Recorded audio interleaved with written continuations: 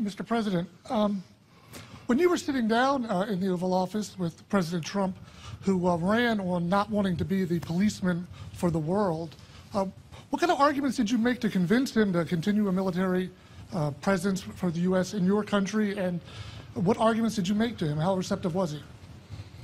I can't understand what you mean by United States presence in my country. They send a training team based on their experiences to train our officers at some of our training institutions and move to the uh, crisis area to see how those they train are performing. I think this is one of the best things the United States could do for us to stabilize the country. And he agreed with that? I do, very much so. That's why I thank him for it. Thank you. Well, we more and more are, it's because it's a very fair question. We more and more are not wanting to be the policemen of the world. And we're spending tremendous amounts of money for decades on policing the world, and that shouldn't be our priority. We want to police ourselves, and we want to rebuild our country. And the president understands that, they've come a long way. They're doing a great job. We're contributing to that job, but they have done a great job. What we do want to do, though, is open Nigeria and other countries up to trade because we have spent over the last decade a number that's so large you wouldn't even believe it. And I think we'll be treated in a reciprocal fashion now, as of today. So I think that's going to happen. And I have great respect for the president, okay? How about uh, Jordan Fabian? Where's Jordan? Jordan, the Hill. Thank you. Thank you. Thank you, thank you, Mr. President. Um, I want to ask you about Iran. The Israeli Prime Minister just gave a speech, uh, very critical of their nuclear program. I want to ask if you have made up your mind to pull out of that deal, and if you do pull out of that deal, do you think are you worried that it sends the wrong message to North Korea as you seek to enter nuclear talks with uh, Kim Jong Un? No, I think it sends the right message. You know, in seven years, that deal will have expired, and Iran is free to go ahead and create nuclear weapons. That's not acceptable. Seven years is tomorrow. That's not acceptable. So, no, if anything, it's proven right what Israel has done today with the news conference. And Prime Minister Netanyahu just gave a very, I don't know if everybody's seen it, but I got to see a little bit of it. And uh, that is just not an acceptable situation. And I've been saying that's happening. They're not sitting back idly. They're setting off missiles, which they say are for television purposes. I don't think so. So we'll see what happens. I, am not telling you what I'm doing, but a lot of people think they know. And on or before the 12th, we'll make a decision. That doesn't mean we won't negotiate a real agreement. You know, this is an agreement that wasn't approved by too many people. And it's a horrible agreement for the United States, including the fact, Mr. President, that we gave Iran $150 billion and $1.8 billion in cash. Nigeria would like some of that. 1.8 billion in cash and 150 billion dollars. You know what we got? We got nothing. We got nothing. So that doesn't mean I wouldn't negotiate a new agreement. We'll see what happens. But uh, I think, if anything, what's happening today and what's happened over the last little while and what we've learned has really shown that I've been 100% right. And Pre President Buhari, um, I want to ask you, you're the first leader from sub-Saharan Africa to visit President Trump here at the White House. Um, did you address his reported comments from earlier this year when he reportedly used vulgar language to describe uh, African nations? Well, um, I'm very careful with what um, the press says about others and myself. Um, I'm not sure about uh, you know, the validity or whether that uh, allegation against the president was true or not. So the best thing for me is to keep quiet. We didn't discuss it. and you do have some countries that are in very bad shape and very tough places to live in. But we didn't discuss it because the president knows me and he knows where I'm coming from, and I appreciate that. We did not discuss it. Mr. President, you can ask a question. Yes, that lady is already up. Yes.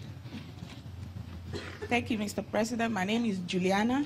Um, Mr. President Trump, I would like to know mm -hmm. Nigeria is in their need of the Tucano uh, aircraft to tackle uh, the problem back home. Will you be uh, kind enough to release at least two before 2020 to enable the country tackle the situation in the country? And how soon will you be visiting Nigeria?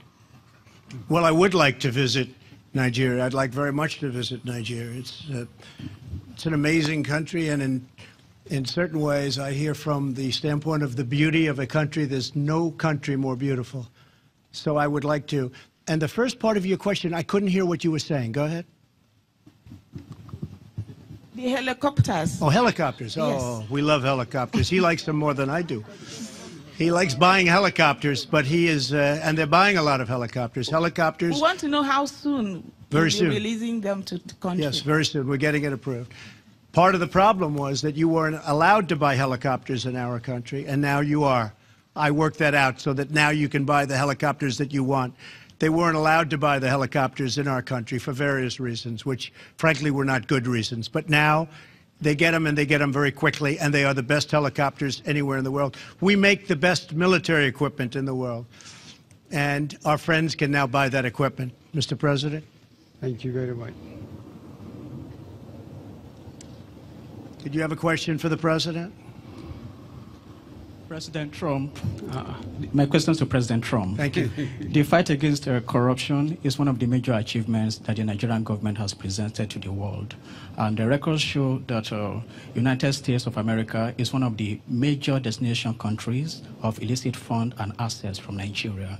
To what extent did you discuss the need to repatriate these funds back to Nigeria to fund critical infrastructure, to cut down funding for terrorism, and uh, also to reduce the illegal immigration from Nigeria to your country. Yes, we have actually discussed all of those topics at length over the last period of time. And uh, in terms of corruption, Nigeria has a reputation, as you understand very well, for very massive corruption. I also know that the president has been able to cut that down very substantially.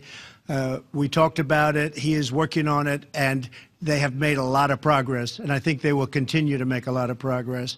Uh, we have a lot of people in this country, and frankly, the country itself, that invests in Nigeria. So cutting down on that corruption element and a corrupt element is very important to us. And the president will be able to do that. President? President, President Buhari. To President uh, Buhari, the United States import of uh, crude oil from Nigeria has considerably gone down. Did you discuss the need for the U.S. to increase its uh, import of crude oil from Nigeria? No, I can't tell uh, the United States what to do. But uh, luckily for us, uh, we have got market for our crude uh, oil elsewhere. But uh, the uh, progress made by United States in technology is likely, is certainly frightening for us such a, a, a mono economy. I hope technology will allow them to use our crude for its quality for petrochemicals, be it light one vis-a-vis the one they are getting from shale. Thank you.